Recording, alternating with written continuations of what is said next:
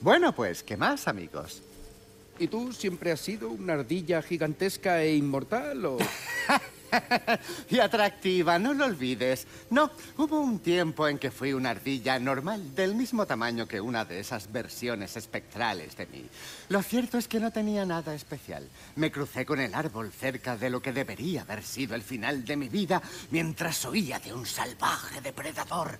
Pero el árbol planes para una criatura insignificante como yo. Bueno, basta de charla, te dejo a lo tuyo, maese Kratos. Lo dejo.